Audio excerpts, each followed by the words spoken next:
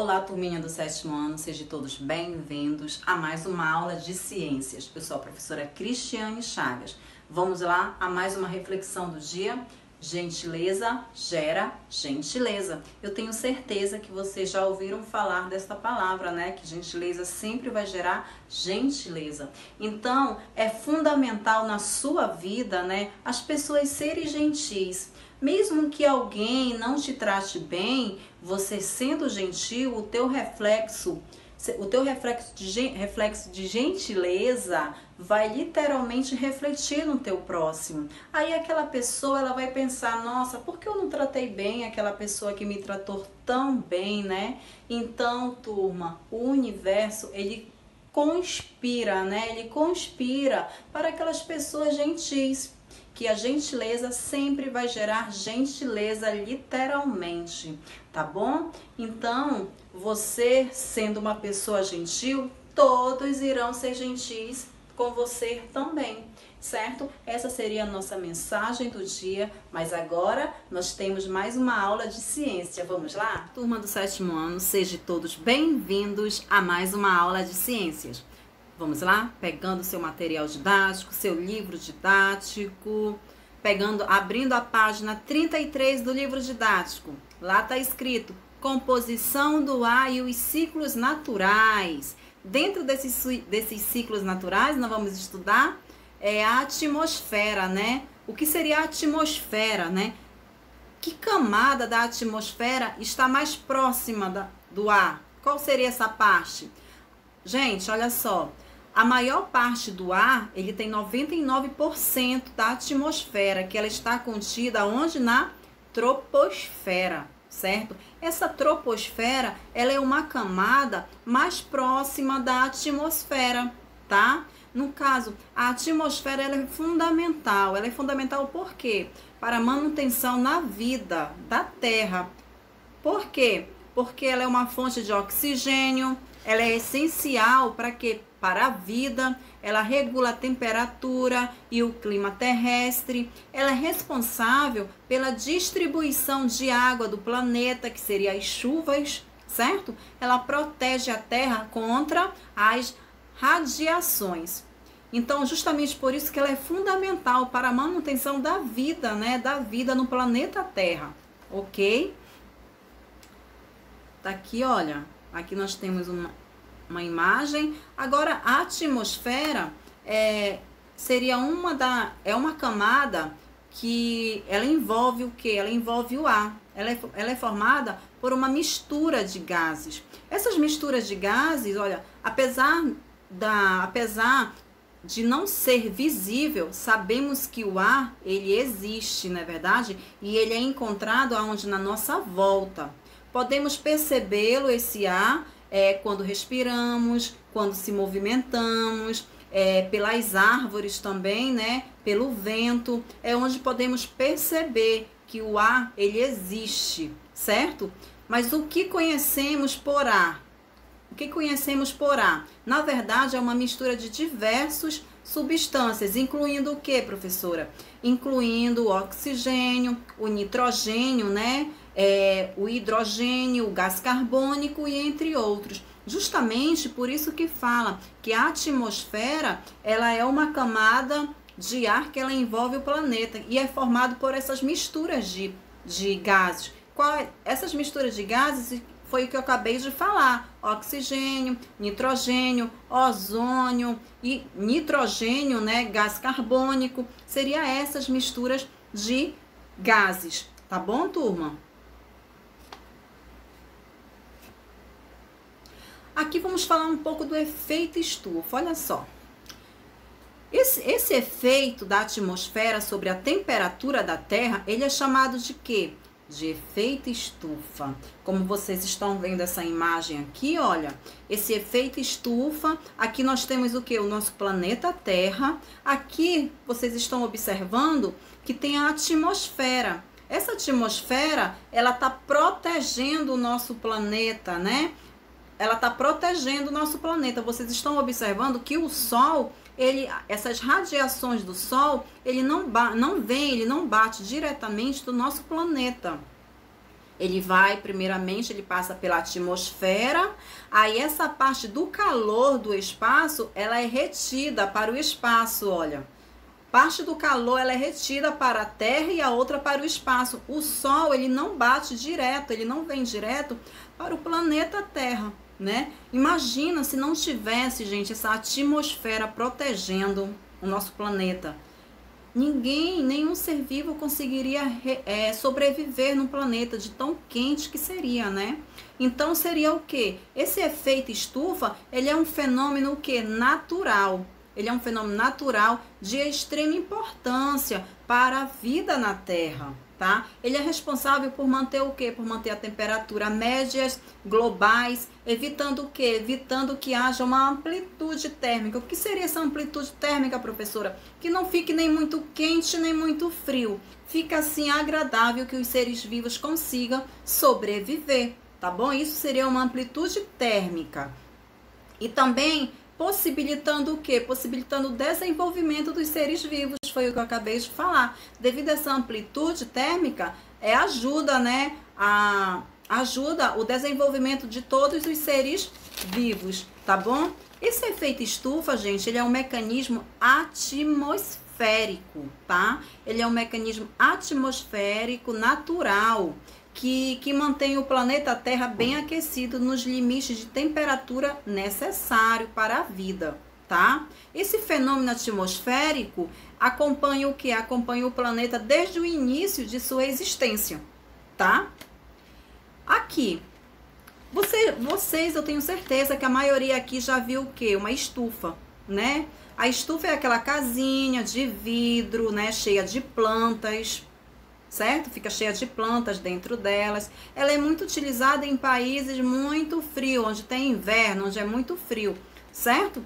Para o cultivo de frutas, de verduras, de raízes, né? É, por, é, esse vidro na casa, ele permite o quê? Ele vai permitir a entrada, a entrada dos raios solares, né? Dos raios solares. Mas não pode deixar o calor sair. Assim, o seu interior ele fica bem quentinho, pois o clima esfria bastante, tá, gente? A mesma coisa acontece quando se deixa o carro estacionado no sol. Quando você deixa o carro estacionado no sol, o que que acontece? O que que vai proteger o carro?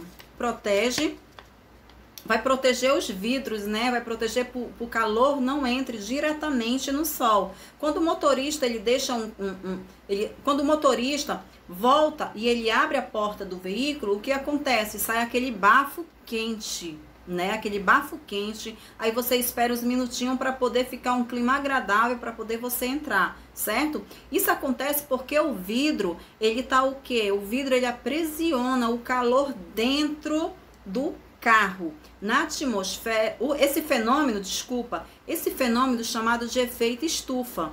Os gases presentes na atmosfera, como dióxido de carbono, vapor de água e o metano, eles fazem o que? Eles fazem o papel desse vidro, tá, gente? Eles permitem que a radiação do Sol penetre na Terra, mas evitem que parte do calor saia, né? Uma porção uma porção de radiação solar, ela é absorvida pela natureza e a outra, ela é liberada graças o que? Graças a esse efeito estufa, tá bom? Então uma é retida na natureza e a outra é liberada, mas graças a esse efeito estufa que está junto com a atmosfera. Mas também nós temos o que? O desequilíbrio certo? Esse desequilíbrio, gente, do efeito estufa, ele, po ele pode provocar o quê? Ele pode provocar é, gases poluentes, como pela, fabricado pelas fábricas, muita fumaça, né? Os veículos, né, que seriam os automóveis também, pode causar mudanças climáticas, tá? Mas aí ele já vai prejudicar não é verdade? Muitas vezes, quando está muito quente, quando está um absurdo de quente, isso tudo é devido a um desequilíbrio. É muita poluição, né? Muita fumaça, muitos, muitos gases. Aí já aconteceu o que? Um desequilíbrio, tá? Aqui vamos falar um pouquinho desse ar seco. Esse ar seco, gente, ele é uma mistura, como eu, eu relatei para vocês, ele é uma mistura de gases. gases, sendo que o nitrogênio seria o quê? Seriam essas bolinhas azuis aqui. Porque o nitrogênio, ele tem cerca de 78%, tá bom? Então, o nitrogênio, é, como vocês estão observando nessa imagem, seria, nessa ilustração, seria essas bolinhas azuis. O oxigênio seria as bolinhas vermelhas.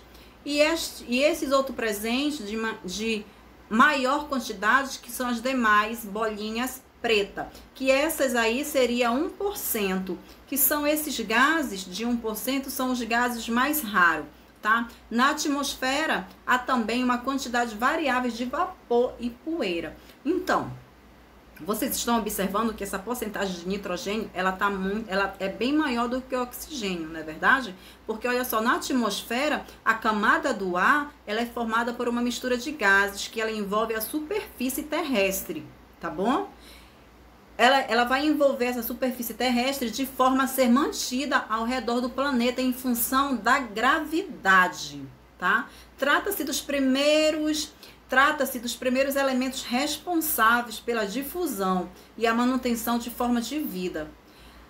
Ela, ela, ela, ela é composta predominantemente por nitrogênio, que ele está de 78% de seu volume, tá? 21% de oxigênio e 1% de outros gases, né? Que esses gases, eles, eles são mais abundantes, eles são mais raros tá bom? Você consegue absorver o nitrogênio assim do ar? Não, nós não conseguimos absorver o nitrogênio diretamente, tá? Mas indiretamente sim, mas diretamente não. Mas isso sobre o nitrogênio nós vamos ver do ciclo de nitrogênio, tá bom?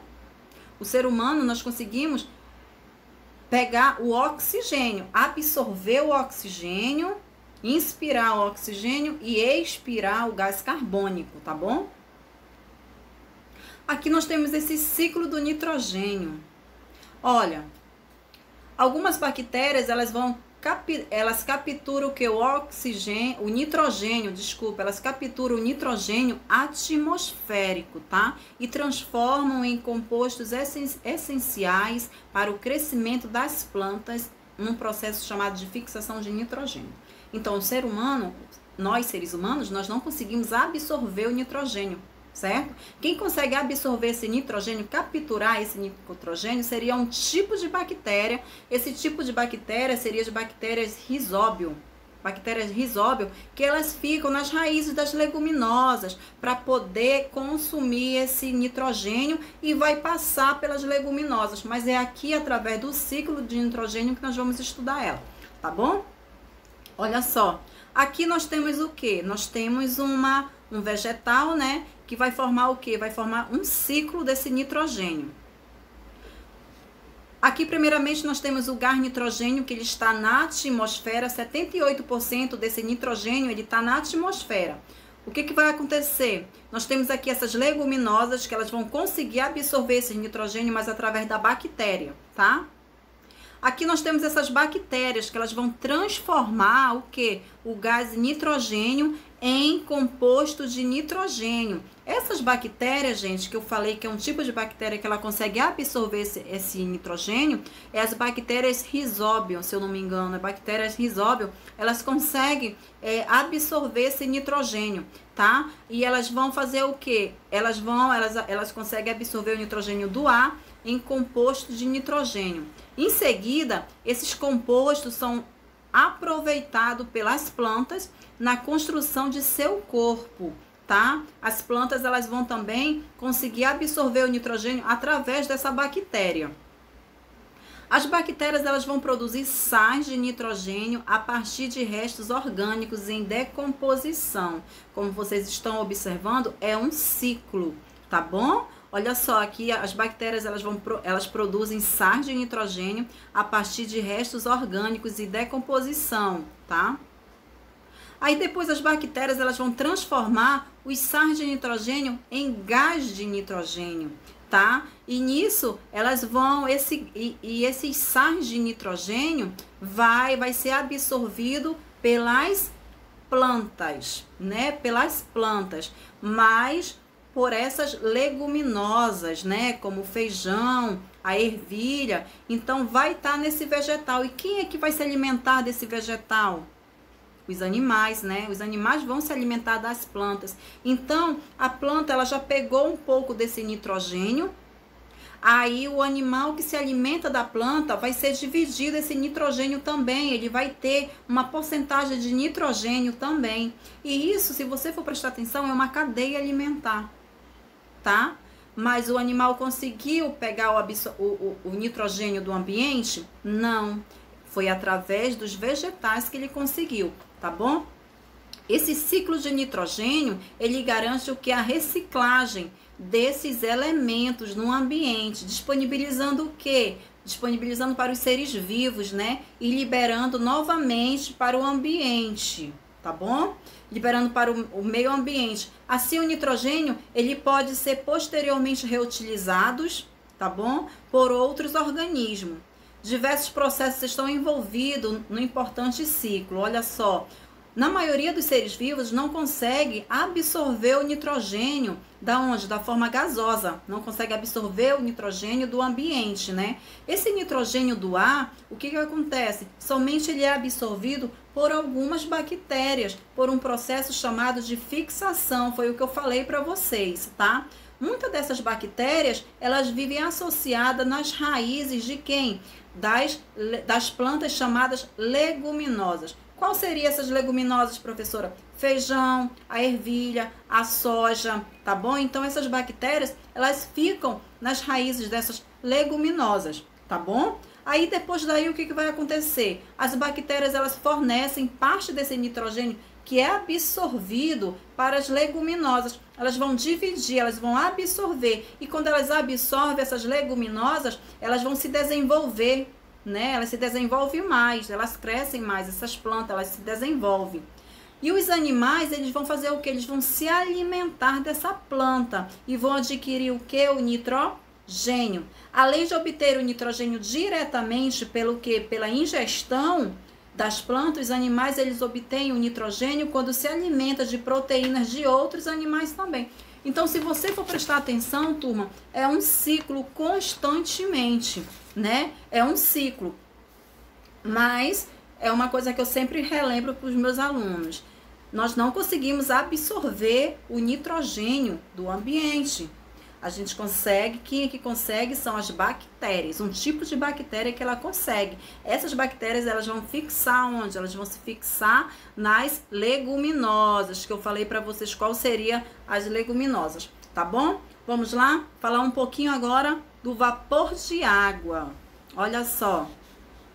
O vapor de água existe na atmosfera que origina-se a evaporização da água, dos rios, dos mares e do solo. Eles obtêm o que? Eles obtêm respiração e transpiração dos seres vivos, mas isso tudo é através da evaporização. Da evaporização, né? Que através dessa evaporização de, de água vai acontecer o que? A precipitação. Essa precipitação, gente, seria o que? Ela é responsável pelo, como eu falei para vocês, por a água dos rios, o que mais? Das geleiras, dos lagos, oceanos, ela, ela vai evaporar através de quê? Através da ação do sol, tá? O sol ajuda essa evaporização, que vai condensar para o estado, para o estado gasoso, vai voltar para o líquido, tá bom? Então, essa relação entre a quantidade de vapor de água, ela existe em um certo momento na atmosfera, tá? E a quantidade máxima de água que ela pode conter é chamado de umidade relativa do ar, tá bom? Aqui nós temos o ciclo do oxigênio. Esse ciclo aqui do, do oxigênio, ele é um ciclo biogeoquímico, tá bom? Ele é um ciclo biogeoquímico que ele garante o que? A movimentação do oxigênio no ambiente dos seres vivos, né? Esse ciclo ele é muito importante, gente. Ele é muito importante para o oxigênio, porque ele é essencial para a respiração celular, ele é essencial para o ser humano, né, para os animais. E a formação dele também, das camadas de ozônio, é a combustão, tudo isso é importante. Essa principal etapa desse ciclo, ela é sem dúvida o que? A fotossíntese, não é verdade? Que é um processo realizado por organismos como as plantas, as algas, né? É, no caso, essas algas aqui, elas fazem a metade, né? Elas fazem a metade, é, elas produzem, na verdade, elas produzem a metade do oxigênio certo? Na superfície é, disponível e elas, ficam, e elas colocam esse oxigênio disponível na, na atmosfera, tá bom? Como vocês estão observando esse ciclo aqui, ó, ele é produzido pela fotossíntese e é consumido pela respiração, combustão e decomposição aeróbia, né? Esse processo forma o ciclo do oxigênio. Aqui nós temos o que? A, aqui quem é o principal? É a fotossíntese, né? E as algas, elas estão presentes na superfície dos oceanos. Elas produzem o que? Elas produzem mais da metade de oxigênio disponível na atmosfera, tá? Do nosso planeta. Tá bom, gente? Aqui nós temos a respiração e a decomposição também, a combustão, que é muito importante, a fotossíntese, tá bom? Que libera esse oxigênio aí. Aqui nós temos também, ao mesmo tempo que as algas e as plantas, elas elas é, produzem né, uma grande metade do oxigênio, mas as, elas também consomem bastante, tá bom? Aqui nós temos o ciclo do carbono. Esse ciclo aqui, ele é encontrado na, é, naturalmente na atmosfera ele representa o que? Cerca de 0,3% do ar, tá bom? Ele é encontrado em águas gaseificadas e refrigerantes também. Aqui nós temos esse ciclo. Esse ciclo do carbono, gente, ele é o que? Ele tem um início quando as plantas e outros organismos autotróficos, quando eu falo organismos autotróficos, elas absorvem o que? O gás carbônico, que seria as plantas, né? Eles absorvem esse gás carbônico da atmosfera para utilizá-lo que na fotossíntese, não é verdade? É muito importante esse gás carbônico para as plantas, para os seres autotróficos. Nesse processo, esse gás carbônico, esse carbônico, ele é devolvido ao, ao ambiente, certo? Ele é devolvido ao meio na mesma velocidade em que é sintetizado pelos produtores pois a devolução desse carbono ocorre o que? Continuidade por meio de respiração durante a vida dos seres vivos. É uma troca, não é verdade? Olha só, esse gás carbônico ele está no ambiente, certo? Então, quem é que libera esse gás carbônico? Primeiramente, a combustão né, de gases, ela libera devido à poluição, vai liberando esse gás carbônico. É, também aqui nós temos carbono de forma de moléculas é, nós temos orgânicos é, de seres vivos, resto de seres vivos, né, que também libera esse gás carbônico para o ambiente. Nós temos também nós temos também aqui restos de animais, né, decomposição, tudo isso ajuda. E quem é que consegue absorver esse gás carbônico? São os seres autotrófos, são os seres autotróficos, os vegetais, as plantas, para poder fornecer o que? A fotossíntese, tá bom? Então esse gás carbônico ele é usado pelas plantas na fotossíntese e é produzido pela respiração dos seres vivos e faz parte de um ciclo do carbono, porque nós seres humanos nós inspiramos oxigênio e devolvemos para o ambiente gás carbônico. É uma troca constantemente que faz parte desse ciclo também. Tá bom, turma? Então, nós vamos ficar até aqui no, gás, no ciclo do gás carbônico, ok? Em seguida, eu vou passar uma atividade para vocês, tá bom? Prestem bastante atenção, pegue o livro de atividades, peguem é, o caderno de vocês para poder fazer atividade no caderno, fazendo a atividade e em seguida podem enviar para a gente poder corrigir a atividade, que eu vou estar aqui, tá bom? Aguardando vocês. Até mais. Vamos lá a mais uma atividade. Hoje nós temos uma coisa diferente, certo?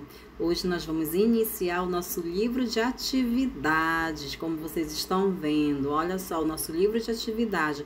Então, esse livro de atividade, ele é um complemento, né, dos conteúdos que nós que a professora já passou para vocês, que vocês vão relembrar dos conteúdos para reforçar o que vocês já aprenderam, tá bom? Então vamos lá, pegue um livro de atividade, tá bom? Para poder nós iniciarmos a nossa atividade, tá? Olha só, no livro de atividade, na página 5, peguem a página 5 do livro de atividade de vocês, tá bom? Aqui nós vamos falar, nós vamos relembrar dos seres vivos. Lembra que nós falamos dos seres vivos, indivíduo, população, comunidade, Lembra que no início das nossas aulas, que a professora explicou, fez o slide? Então, o que está pedindo aqui? Olha, observe, o que, que você vai ler? Acompanhando no seu livro, tá? Observe as imagens e classifique corretamente utilizando os termos dos quadros, né?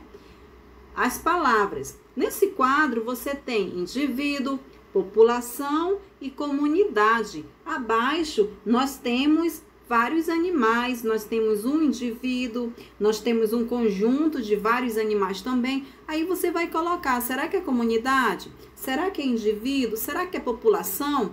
Tá bom? Isso a professora passou para vocês, tá bom? Vamos lá, na página 6 do livro de atividade, tá bom? Página 6, deixa eu só abrir mais um pouquinho aqui para você, tá? Para poder enxergar isso. Na página 6, a segunda questão está pedindo o quê? Defina o que é habitat e cite dois exemplos. Lembra que eu falei o que seria habitat e o que seria nicho ecológico? Então, qual é o que seria habitat? Aí você vai relatar, pega lá o teu livro, aí você vai falar o que seria habitat, escreve bonitinho, tá bom? Com a letra bem legível e uma caligrafia legal. Terceira questão, leia o texto. Abaixo aqui nós temos esse texto. Vamos ler? Olha só. Três divisões com a duração de quatro meses cada marcaram o calendário de trabalho egípcio, né? Inundação, aí vem emergência de terra, momento de semeadura e colheita, certo? Aí vem seca. Abaixo nós temos o quê? Os três períodos descritos no texto referem-se ao nível de água do rio Nilo ao longo do ano. O nível de água do rio regia as, atividades, as atividades da população do Egito. Com base nos seus conhecimentos, marque V para as, para as alternativas verdadeiras e F para as alternativas falsas. Abaixo você vai ler bonitinho e você vai colocar nos parênteses V para verdadeira e F para falsa. A quarta questão. A quarta questão está falando do açaí, certo? É uma palmeira que pode chegar a 25 metros, né, de altura. Seus frutos, seus frutos nascem em cachos e são muito importantes para a alimentação dos animais nas florestas e também para os seres humanos.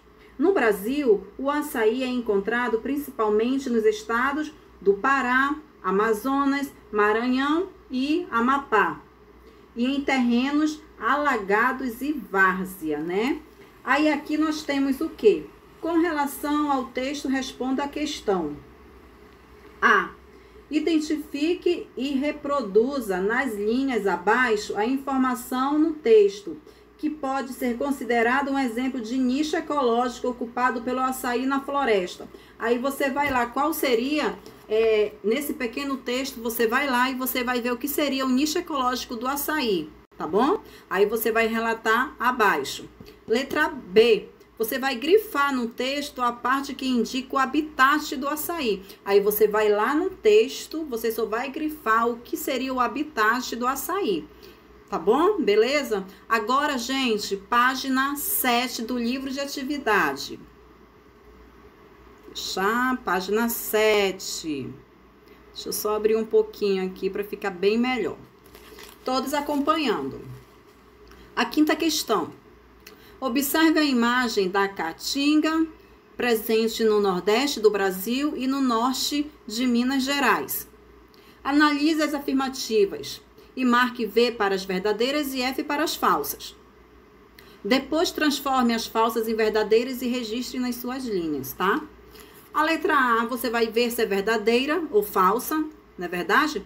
Esse ecossistema é o habitat de inúmeras espécies de plantas, principalmente daquelas que precisam de pouca luminosidade para se desenvolver. Se você acha que é verdadeiro, coloca, se não, coloca falsa. A letra B, do mesmo jeito, se você achar que é verdadeira, coloca, se não, coloque falsa, tá? E assim vai até a letra D. A sexta questão tem esse pequeno texto abaixo que você vai, você vai ler, aí abaixo você vai colocar o quê? Aqui nesse texto está falando. Leio o trecho abaixo e em seguida faço o que se pede. Apesar de separados em, na, em nações, tribos, religiões, etnias, línguas, culturas e políticas, nós estamos todos juntos, somos membros e cidadãos plenos de uma comunidade biótica. Aqui nas afirmativas, marque V para as verdadeiras e F para a falsa. Quando os autores escrevem somos membros, ele se refere a um conjunto de indivíduos de uma mesma espécie? Você acha que é, coloca verdadeiro. Se você acha que não é, coloca falsa. Tá bom? Então, terceiro parêntese. As comunidades de pessoas de diferentes etnias que vivem em diferentes países do mundo também são, em termos biológicos, comunidade? Se você acha que é, coloca V, se não, falso, tá bom? Os autores enfatizam a importância de nós, seres humanos, nos enxergarmos como parte da comunidade biótica, né, natural, composta de milhões de seres vivos. Então, vocês têm esses três parênteses para vocês completar. V de V para verdadeiro ou F para falso. Então, fica só essas páginas, número 5, 6 e 7 do livro de atividade, tá bom? Todo mundo respondendo e em seguida eu vou tá corrigindo. Eu tô aguardando vocês aqui, tá bom? Não esqueçam de, não esqueçam, turma, que é do livro de atividade que nós vamos iniciar hoje, que é um complemento dos conteúdos que nós já estudamos no decorrer dos dias, tá bom? Que vocês vão relembrar dos conteúdos, o que vocês aprenderam tá bom? E em seguida eu estou enviando a atividade também no caderno, tá bom? Então eu tô aqui aguardando vocês responder qualquer dúvida, pergunta que eu vou que eu estou tirando, tá bom? Fiquem com Deus. Tô aguardando. Tchau.